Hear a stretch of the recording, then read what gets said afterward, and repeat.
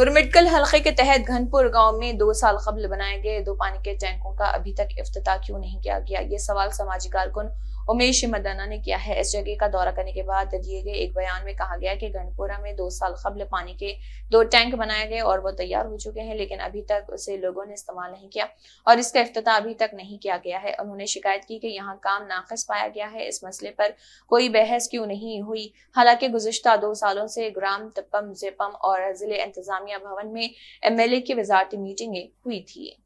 ಯಾದಗಿರಿ ಜಿಲ್ಲೆ ಗುರುಮಠಕಲ್ ಮತಕ್ಷೇತ್ರ ವ್ಯಾಪ್ತಿಗೆ ಬರ್ತಕ್ಕಂಥ ಗಣಪುರ ಗ್ರಾಮದಲ್ಲಿ ಸಾರ್ವಜನಿಕರಿಗೆ ಕುಡಿ ನೀರಿನ ವ್ಯವಸ್ಥೆಗಾಗಿ ಎರಡು ಓವರ್ ಟ್ಯಾಂಕ್ ಕರ್, ಕಟ್ಟಿ ಇಲ್ಲಿವರೆಗೆ ಉದ್ಘಾಟನಾ ಭಾಗ್ಯ ಕಾಣದೆ ಎರಡು ವರ್ಷ ಆಯ್ತು.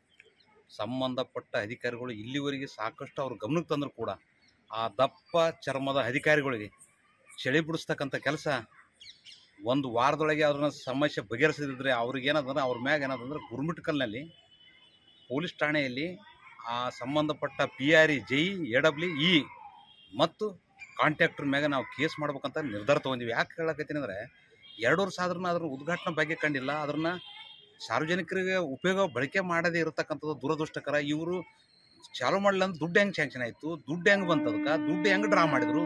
ಇವ್ರು ಯಾರ್ಯಾರು ಏಟ್ ತಿಂದಾರ ಕಳಪೆ ಕಾಮಗಾರಿ ಏನು ಮಾಡಿದ್ರೆ ಅವ್ರ ಮ್ಯಾಗ ಕಂಪ್ಲೇಂಟ್ ಮಾಡಿ ಅವ್ರು ಪೂರ್ತಿ ತುಂಬಿರ್ತಕ್ಕಂಥ ಹಣ ಏನು ಇಲ್ಲಿ ತನಕ ಡ್ರಾ ಮಾಡಿರೋ ಅದೆಲ್ಲನೂ ಸರ್ಕಾರಕ್ಕೆ ತುಂಬಿಸ್ತಕ್ಕಂಥ ಕೆಲಸ ಮಾಡ್ಬೇಕಂತಕ್ಕಂಥದ್ದು ನಾನು ನಿರ್ಧಾರ ತೆಗೆದುಕೊಂಡಿದ್ದೇನೆ.